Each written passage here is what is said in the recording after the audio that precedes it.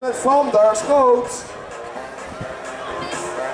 Het is Karsmakers op kwalificatiepositie plek nummer 4. Zal het zo blijven tot aan de finishlijn. Gekwalificeerd worden naar de halve finale Leenhuis, Breit, Pignel en Karsmakers.